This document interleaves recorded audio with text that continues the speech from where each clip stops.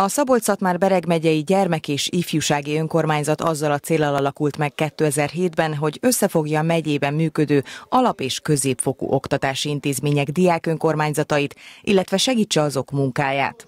A megyei diákparlament keddi ülésén a diák önkormányzatok képviselői, illetve a diákmunkát segítő pedagógusok vettek részt öt település közel 30 intézményének képviseletében. A szakmai, anyagi és jogi hátteret a Központi Ifjúsági Egyesület biztosítja a megyei gyermek és ifjúsági önkormányzat számára.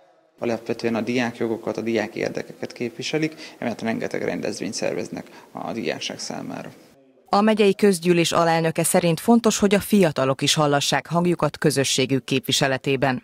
Már 11. alkalommal ülésezik a megyei diákparlament, és ebből a 11 alkalomból 10 alkalommal a megyeháza dísztermében e, került sor erre a rendezvényre, amelyet mi, mint szabolcs már Beregmélyi önkormányzat nagyon üdvözlünk, és természetesen támogatunk is, hiszen magának a diákparlamentnek a lényege az, hogy valóban abban a e, önkormányzati szférában, amelyben mi most élünk, abban meg tudják magukat mutatni a diákok is. Kicsit belekóstoljanak abba, hogy milyen is az, amikor saját dolgaikat kell menedzselni, milyen az, amikor eh, a saját eh, közösségeiken belül kell szerepet vállalni, megszólalni, és hát erre a diákparlament tökéletes eh, helyszín biztosít, és úgy gondoljuk, hogy a megyeháza pedig olyan kulisszát teremt e köré, amelyel, amelyel tényleg egy kicsit meg lehet adni a méltóságát is.